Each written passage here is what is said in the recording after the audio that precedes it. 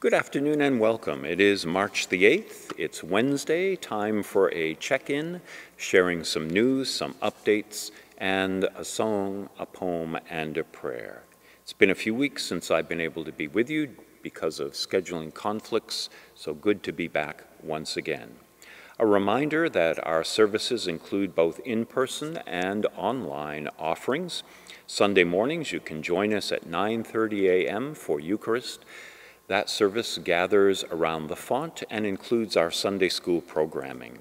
At 11 o'clock, a more traditional Anglican service with choir and organ. And at 4 o'clock on Sunday afternoons, evensong or a concert event is, is held as part of our Sundays at 4 series. You can get the full schedule of the 4 o'clock events on our cathedral website.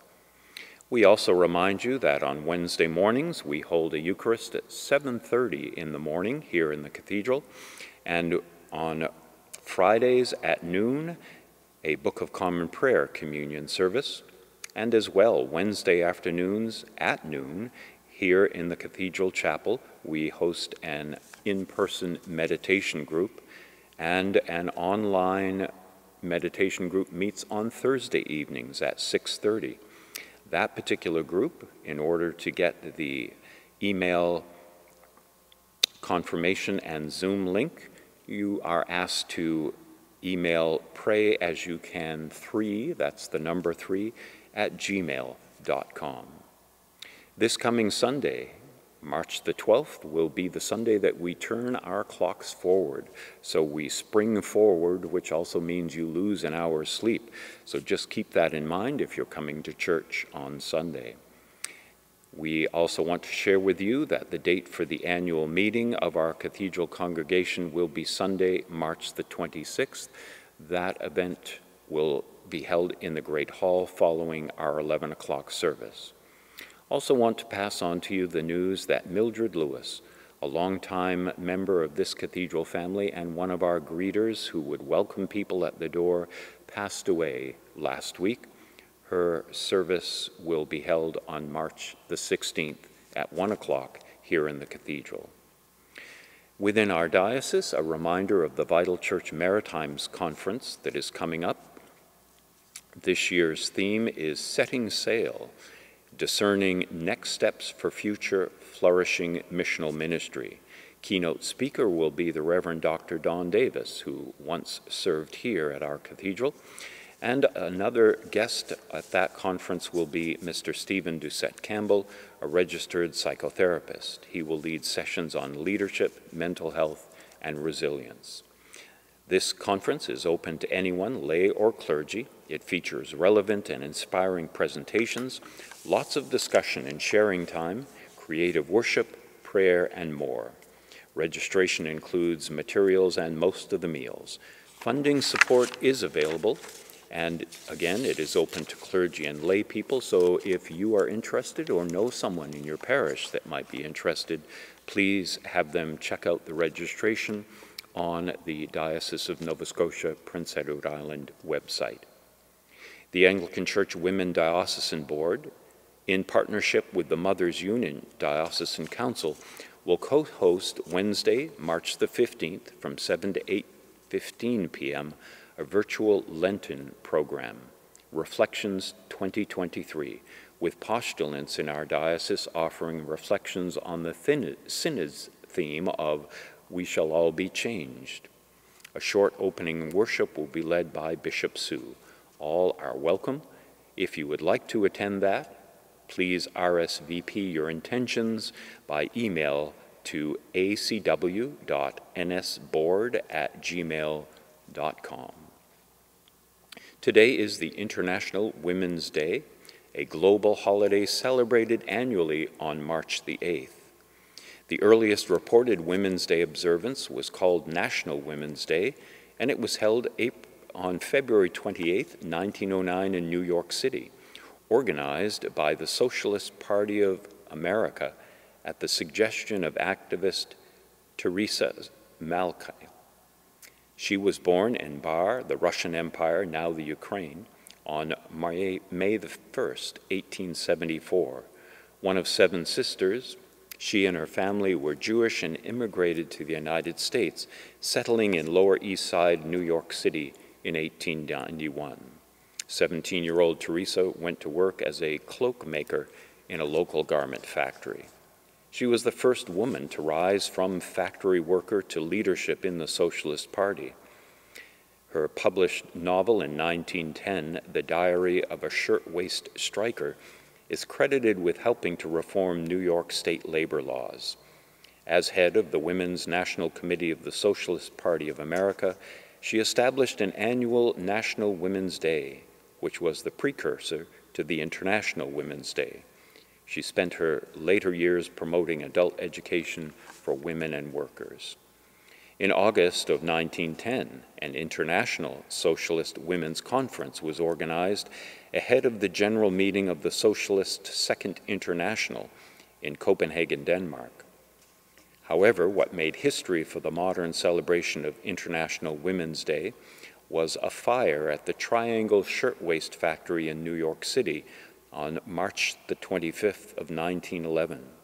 That tragedy killed 146 young workers, most of whom were immigrants. The following year, the first International Women's Day was marked by over a million people in Austria, Denmark, Germany, and Switzerland.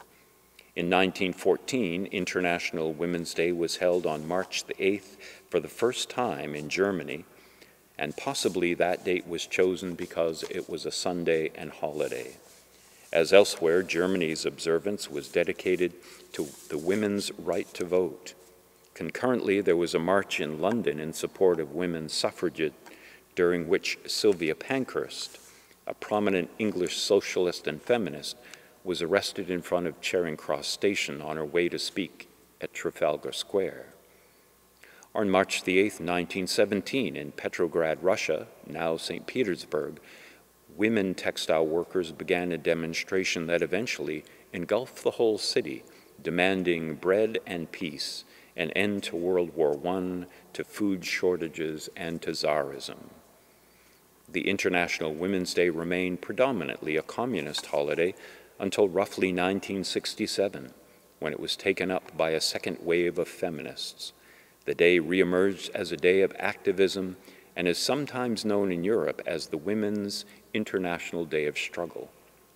The United Nations began celebrating International Women's Day in 1975, which had been proclaimed the International Year of Women.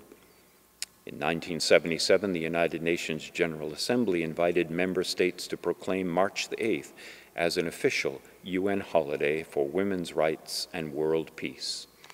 It has since been commemorated annually by the UN and much of the world, with each year's observance centered on a particular theme or issue within women's rights. This year's theme is Embrace Equality. So, with that as a background for today, a poem, there is perhaps none more expressive and powerful than the great Maya Angelou's Phenomenal Woman. I've shared that one in years past, and I do encourage you to look that one up. So today, instead, I draw your attention to a lesser known poet by the name of Lisel Mueller. Lisel was a German born American poet, translator, and academic teacher. Her father, Fritz Neumann, was a high school teacher and a progressive educator who delivered a speech in 1933 to an assembly of teachers in Hamburg, Germany, warning of the dangers of the Nazi ideology. And when the Nazis came to power, he was dismissed from his position, interrogated by the Gestapo for four days, and then, when released, fled to Italy, then to the United States, where he was accepted in 1937 as a political refugee. He eventually became a professor of French and German at Evansville College in Chicago. Lisel followed at the age of 15 with her mother and younger sister arriving in the United States on the 9th of June, 1939. She would eventually graduate from the University of Evansville and then began to write poetry, publishing her first collection titled Dependencies in 1965. She worked as a literary critic and taught at the University of Chicago Elmhurst College, and Goddard College. She received numerous awards, including the National Book Award in 1981 and the Pulitzer Prize for Poetry in 1997, the only German born poet awarded that prize. Mueller currently resides in a retirement community outside of Chicago. So here is her poem titled The Laughter of Women. The laughter of women sets fire to the halls of injustice, and the false evidence burns to a beautiful white lightness. It rattles the chambers of Congress and forces the windows wide open so the, so the fatuous speeches can fly out. The laughter of women wipes the mist from the spectacles of the old. It infects them with a happy flu, and they laugh as if they were young again. Prisoners held in underground cells imagine that they see daylight when they remember the laughter of women. It runs across water that divides and reconciles two unfriendly shores like flares that signal the news to each other. What a language it is, the laughter of women, high flying and subversive. Long before law and scripture, we heard the laughter. We understood the freedom. That's the poem, The Laughter of Women by Lisel Mueller. For a song, here is one that stretches way back to 1963, a hit song for the artist known as Lesley Gore called You Don't Own Me. Remarkable lyrics for the time, which in part read Don't tell me what to do, don't tell me what to say, and please, when I go out with you, don't put me on display, because you don't own me. Don't try to change me in any way. You don't own me. Don't tie me down, because I'm never to stay. Lesley Gore was born Leslie Sue Goldstein, May 2, 1946, in Brooklyn, New York City, into a middle class Jewish family. The daughter of Leo Goldstein and Ronnie Gore. Her father was the owner of Peter Pan, a children's swimwear manufacturer. She was raised in, Tep- in New Jersey and attended the Dwight School for Girls in nearby Englewood. She also attended Sarah Lawrence, Sarah Lawrence College. At the age of 16, she recorded the pop hit It's My Party, which became a U.S. number one hit in 1963. She followed that up with 10 further Billboard Top 40 hits, including Judy's Turn to Cry and the song I mentioned, You Don't Own Me. The song is described on the Wikipedia article as a soft but stoic anthem of female empowerment. Reacting to the song's overwhelming popularity, Gore herself said it was not as much a female empowerment song as much as it was a song about empowerment for all, celebrating the moment when you realize that your story is yours alone and no one else's. I would also point you to a song by the modern singer songwriter Alicia Beth Moore Hart. And if that name doesn't ring a bell, you may know her by her stage name of Pink. Born September 8, 1979, in Doylestown, Pennsylvania, her mother, Judith Kugel, was an emergency room nurse. Her father, James Moore, was an insurance salesman. Her Wikipedia article notes she described herself as an Irish, German, Lithuanian Jew and identifies as Jewish. Although a healthy baby at birth, she developed asthma that plagued her throughout her early years. Her parents divorced when she was 10 and she was raised by her mother.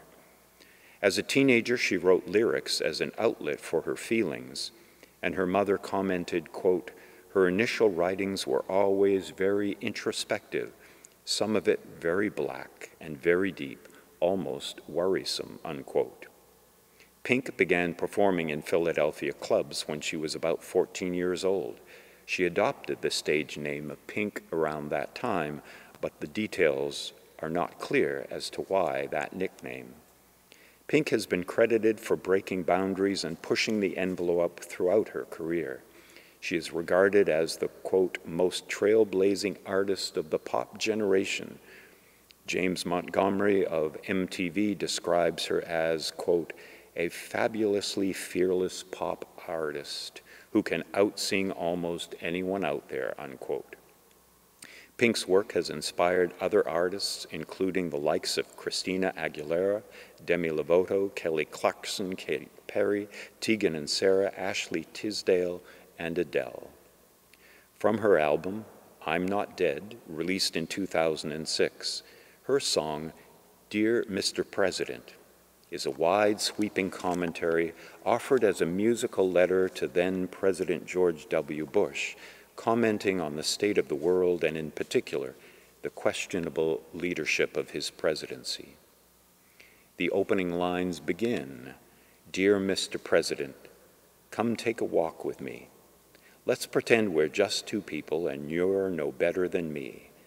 I'd like to ask you some questions if we can speak honestly. So do check out that song by Pink, Dear Mr. President. And as we end in prayer, here is one set aside for this International Women's Day. As we celebrate and give thanks for the achievement of women, we remember the women who have played a part in our lives, those who have nurtured us, taught us, inspired us, and loved us. Forgive us when we have limited women through inequality, by stereotype, by exclusion, through lack of opportunity. On this International Women's Day, as we acknowledge the challenges women still face, we pray that all women may know equality of health care, of education, of wealth, of prospects. We pray that all women may know themselves to be respected, safe, included, and empowered. We ask these things in the name of Jesus, in whom there is neither male nor female. Amen. Thank you for tuning in, and may God bless the rest of the week to come for you until we meet again.